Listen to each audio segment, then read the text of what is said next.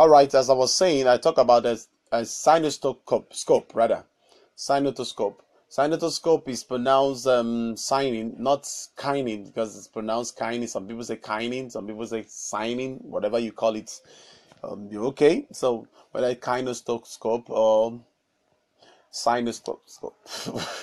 All right. So I said in October 1989, Dickson showed the Edison projection with sound, but the sound, the quality was so poor, and Edison opts for silent individual showing of films, and um, they, they, they, they have to invent the sinustoscope. So when they invent the sinustoscope to get the sound and they work on it, they, then the sinustoscope was set up in Palos. It was set up in Palos. So you have to be closed, no, no light, not too much of light and all that, so that we can have like a projection and all that. So you will see the dancing, juggling, clowning wonders of the word, a few reenactments of those things, but no story yet no story yet. So Thomas Edison has to work again. Despite his short-sightedness in mass projection, he did leave his mark on motion pictures. He also worked on motion pictures, which was a very, very important thing. He contributed a Pocket O's on film. So then he also did what I call a kind of small studio, the first movie studio called Black Maria the first motive called Black Maria. So they want everything is a dark so that there's too much of light. If you look at my back or my side now, you see a lot of light. I was trying to adjust the light to give me the light. Understand? So, but I have to adjust the light to give me the light. Then how do I do it? I have to okay make it. This is better now. So that this is better now because I'm also using a reflector to to to enhance the face. Now, as I was saying, the Black Maria was the first movie studio and the Black Maria was constructed. If you see the picture, you can also look for YouTube to see it and all that, which I don't want to uh, go much into that. But I will give you some links again to also watch to watch them. So in the Black Maria, camera could only move forward and backward. So at that Black Maria, you can only move like this. It can only come back. So nothing else again. The roof open to allow sunlight in. They use the natural lighting, the stunting lighting, to bring about um, a natural light. So they opened the roof so that the building rotated to catch sun's ray. So it's rotated to, to catch sun so that it can have an effect. Then camera used electricity. At that time, there is no battery. So the camera used being plugged to electricity straight.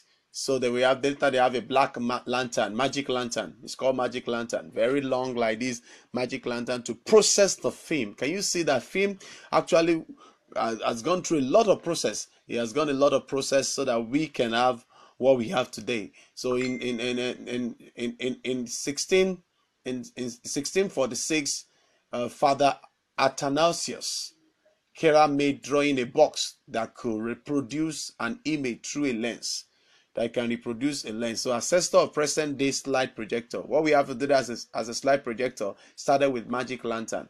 He started with Magic Lantern, and uh, showman travels across Europe showing Magic Lantern shows. So Magic Lantern was it's funny, but you, you, you, can see now the projector you have. In fact, I don't know where that one is right now. Okay, I I think I, I think I have it here. So this is this this is I have I have a projector as small as this. Can you see this projector?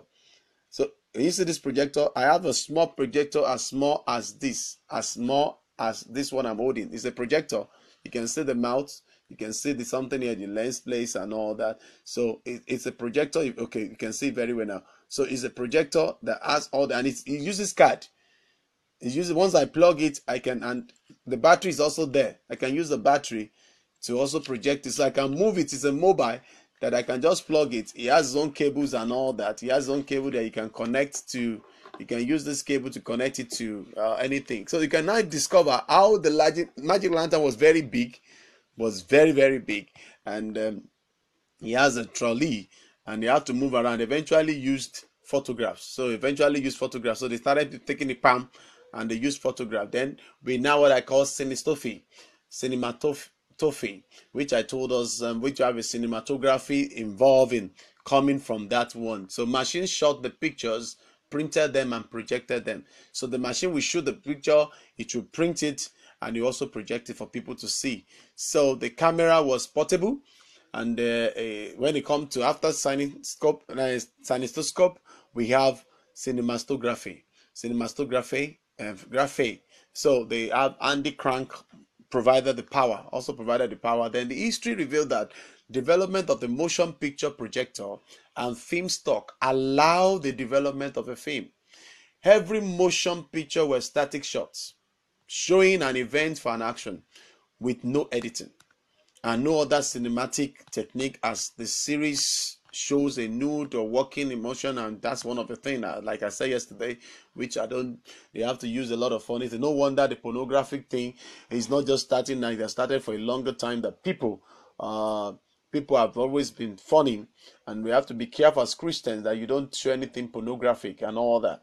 So that is one of the things. So I'm also recapping some things. That's why I'm going back to that. Then in the history, early, early, early film, early films were visual art until the late 19th, uh, 19th century, where we developed into narrative and series of scene linked together to tell a story. That is, they begin to link it together. At the beginning, they just take the pictures, just the pictures. But now, when they now come, they now begin to 19th century, they begin to develop a narrative with a series of scenes linked together to, and to tell a story.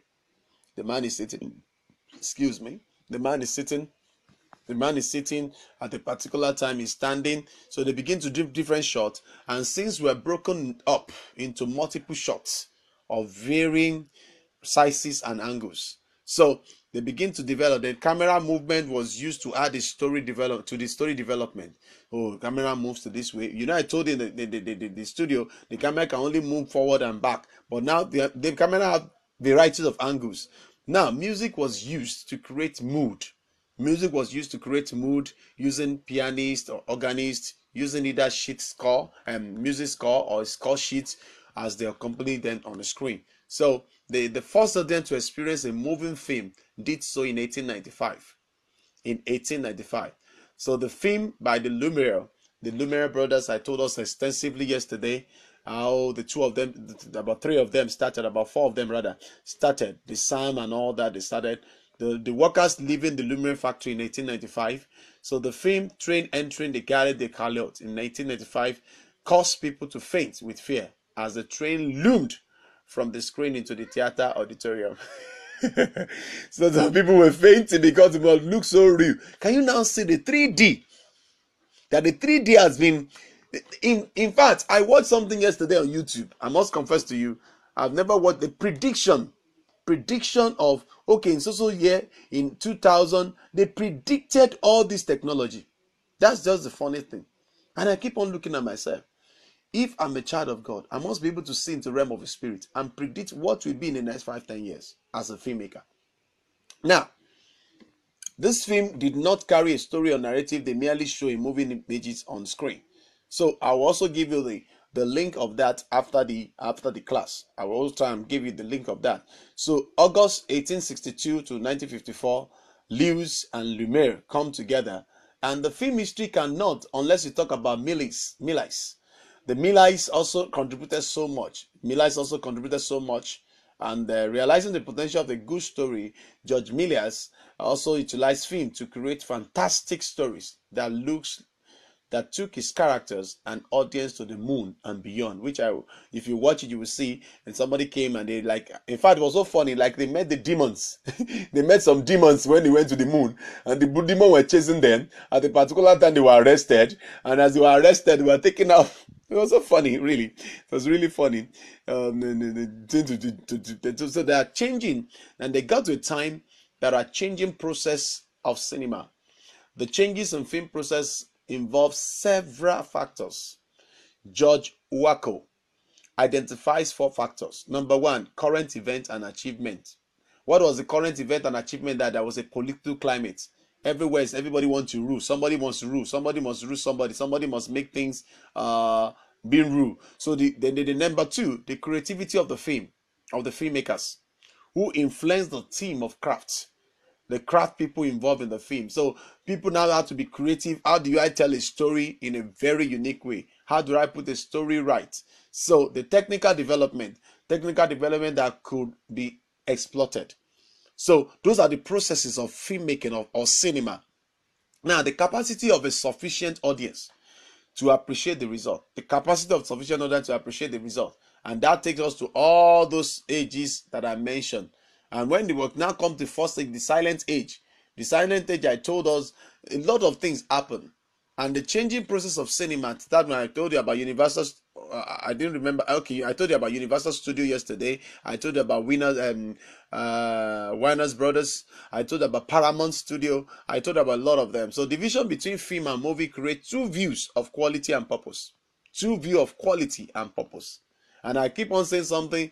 If you want, even till now, this all these purposes are not. If you're going to do a Christian film and you are involved in a Christian film, make sure it is quality and you have a purpose. What is the purpose? Is talking to an unbeliever? If he's talking to believers, and we are blessed in this part of the world because in this part of the world, in our Christian filmmaking involves show people the area that are bad, display to people what are, what what what is not good, so people can know. Then movies, movies, the commercial differentiation, popular entertainment with a mass, the mass entertainment and mass circulation of copies of the movies, and now you can now reach out to more large audience. Not instead of coming to theater the limited number of people that the theater at that time can contain now they make it available. The product of an industry dominated by the producer because producer means money if you are saying money the producer must look for money he must look for the executive producer and there is no individual filmmakers at that time but it's a team under a producer's control so all of them come together the studio has to come up they have a studio the director is hired to create the film from the script so the final version is however responsible for the producer and the editor. So at that time, there was a producer and editor. They just hired the director. They would just tell them, do this, this, this, this, and this, this, this. That's all. After he has done it, then that's why in television, in television, in television, um, in television uh, movie make um, television. Uh, uh, let, let me put it in television. That is why the hire directors and the producer and the editor will sit down with their film and go. You understand? But some that's why some are director and producers. So they are directors and producers to just make sure that they get it something. So the, the movie, the director of a movie is known as a metteur en scène, an interpreter of a score or script. So and you know we will still get to that one when we are talking about something. So the progress, the, the progress, the, the progression starts with the silent film, which you can see some of the links, and that interests me more. If I can get all those things, how much more the one I've done 18 years ago if I cannot get my own footages? and that's that's a bad thing if i cannot get footages of 18 years ago so that's not good. As you are as you are starting your ministry or you have started your ministry keep documenting. Even if you go to the village even if it's a future film you a future camera you can use to snap it snap. Don't worry just keep the record. One day the lord will give you a good camera and all that. Now filmmakers experiment, experimented with the use of the camera to develop new techniques. At that time they said okay let's let's use this thing that would enhance the ability to tell a story. So in, in 1913, um, Giovanni Pastrone Cabellera, Cabira, Cabiria, they moved his camera lately and um, lit, and he was now able to do something slightly. What did he do? He moved to the above of the foreground, thus changing the perspective of the audience. From that, he moved again, and that's what we have in the Lumiere films. Lumiere films. All right. Now, in 1923, Mayer, which I've also mentioned yesterday, the Mayers uh, directing laugh, last laugh, last laugh for for FW women proposed a forward movement of the camera at a dramatic movement. And what we have today, we call track dolly him, tracking him. You understand? Ah, Kai, Kai, Kai. History is good. History is sweet. you need to know some things. you need to know some things, and uh, you know the moment it trusts the audience with the action, people feel it. Uh, by the grace of God, I also make some of this um, YouTube, um, YouTube um, um, link available this morning also after the after the broadcast. So when the progression continues, the profession I told you yesterday that the grifties is the one that had the birth of a nation. You need to get the book if you can get it, The Birth of a Nation. So the man who exploited the change was D.W. Griffith in 1875 to 1948 in US, in USA. So whose film The Birth of a Nation, The Birth of a Nation, The Birth of a Nation, um, The Birth of a Nation 1914 curated an explosive examination of the development of American nation from the Civil War. So after the Civil War again, you see in Nigeria there was a time of Civil War. After the Civil War, there was a tele- there was a transformation in theater that I mentioned. What what all those old videos have uh, old videos have, have, have done. Then the films until then were narrative and anecdotal that followed several threads of narration or narrative. The friendly family, North and South, political events in Washington. How many of you have watched this film? I will remember. It's about George Washington. I will remember. But if I remember, anytime I remember, I watch the film. Wow, fantastic film, fantastic film. So, you know, eh, the white and black started, carpetbaggers and all that, and don't forget that the progression was going on, and Griffith's success were these successes were also, and he also do it on a lot of things for him that he gave out to a lot of things. Then let me tell you something. As a result, financiers cease to regard the filmmaker as the kingpin of production and decide to beat up the, the film star in their place. They, you know, when those things, when they saw the success was also his undoing, that guy became a very strong thing, and a lot of people say, okay, let us also make a star. That's why the, all this star comes in. This one is a star. They put control in the hand of the producer, aided by his team of organizers and writers. So the Hollywood system, that's the Hollywood still today. That is the Hollywood system. That is the Hollywood system. They make sure that okay, everybody have a film school, um, not film school. Everybody have um, um, what do we call it now? Everybody have a film company, so that somebody can come out, a producer and organizer, this team, they work together as now. Now this this this favor the movie over the film and reduce the risk of the bank. So they also introduce the language of the of the film. Long that's that's the year they also introduced the language of the film. You have a long shot, mid shot, close shot, or close up, and their and their and their variations and all that. So this time allowed the editor to to also confirm when he was when he's arranging. If he's arranging, I'll be able to arrange well to produce and identify reaction from the audience so that if it's a long shot it's far away. If it's a mid shot it's getting closer. If it's a close shot it's having like i'm moving now. That's a close shot. If i move back now the long shot or mid shot then a close extremely you understand? So that's just you understand? That's just what is uh, happening. So the progression continue in the silent film. With the, the fw uh, Manuel in 1818 to 1931 influenced the filmmaking process with the introduction of the design tool, the design tool called storyboard. So storyboard is not just now; it has been a system for years. So they, they have to do a storyboard. So this is a script visualized by drawing of every basic change of a camera angle in the film. I'm glad to tell you that all these things have been existent. I love the Bible. The Bible says there is no new thing under the earth. You can call it a new name, you can call it different names. There is no new thing under the earth.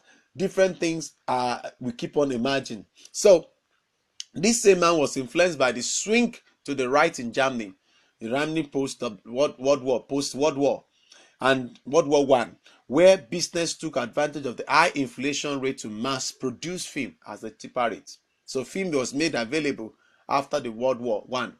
So World War One was the advance to the movie from the it's it's a signal the advance of the movie from the US. So from the US, people were able to go to other places, and this was because the old Europe was fighting a four-year long war. Hmm. A four-year long war costing 10 million dead. Wow, that's too much. 12 million people died. The Americans only fought for six months at a cost of 115,000 dead. 115 dead. That's that's that's that's that's awesome. That 115 dead is awesome. So, you know, the 10 years of prosperity in the US allowed the industry to gain dominance. 10 years, 10 good years.